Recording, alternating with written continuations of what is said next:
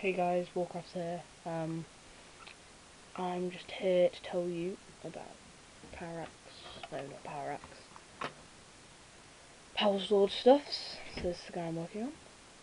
He's my uh, Space Marine commander. One of those guys. I can't fit in the whole box. Space Marine commander. If you can, no, I'll try and zoom in Space Marine. Um,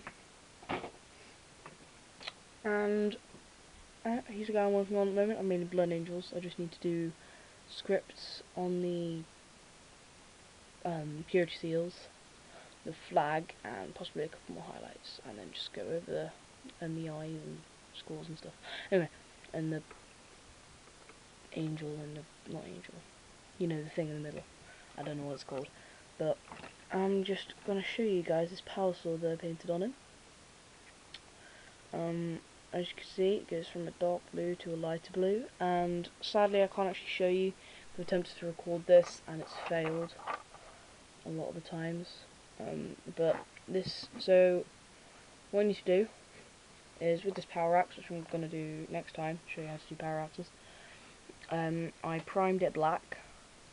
Um, um, well, it depends what colour. Say if you're doing green, you're probably gonna start Thraka green or Knarloc. No, not Thraka. Knarloc green. I'm not sure what the name for that is now because they changed all the paints around. Um,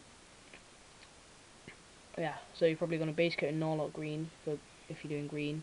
So you still want to do black, and for red, you would probably base coat in Mechrite, depending on how bright you want to go. Um, so yeah, towards the end. So yeah, you base coat just like this. So prime black, base coat um, Kantor blue, which is Regal blue if you go by the old paints.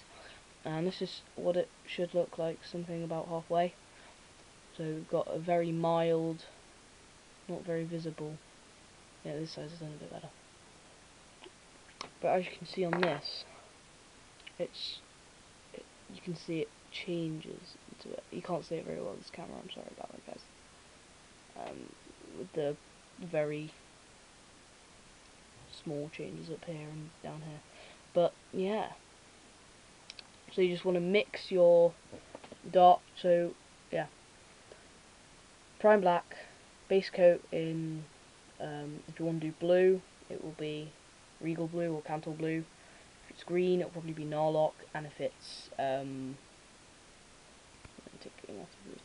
um, and if it's red, it will probably be Mechrite. This is all depending on how bright you want to go. Um, but yeah, so I'm only doing blue because that's the only colours I've got for it. I only have one green and two reds and an orange. So I could probably show you a red one on maybe the lightning claws.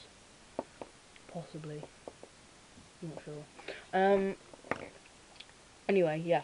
So, you just want to, for the blue, um, you just want to, basically, said this, um, yeah, and then you just mix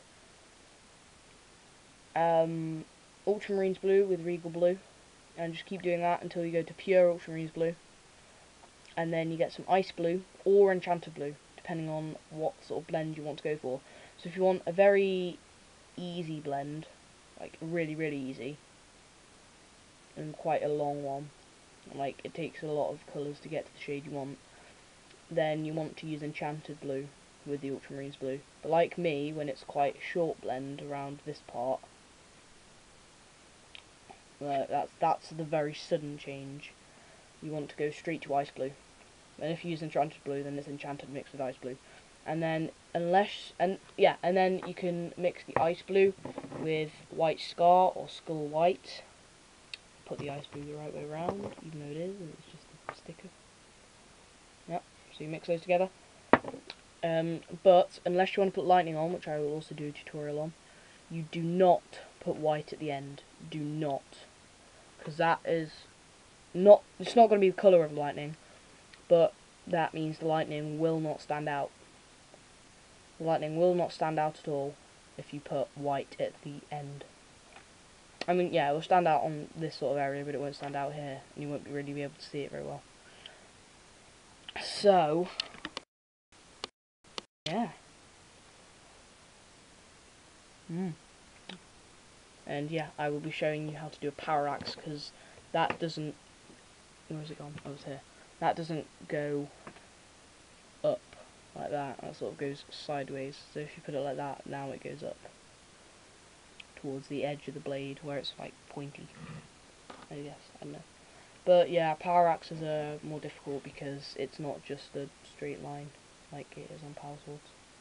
And then later on, um, if I can find a sprue with it, there we go. I will be able to show you how to do uh, lightning claw. But this one, oh, one minute. I can't actually. There we go. Sorry, guys. It's my sister's camera. Uh, because at the moment I've got Flip Mino HD, which I don't know how to convert the files into WMV. Well, I've tried, but it's not working for some reason. But anyway, yeah. So, what you want to do, no, yeah, I will also do, sorry, I'll do a tutorial on uh, lightning claws. This red part has just been an experiment that I need to also do on this pathist. Um, but yeah.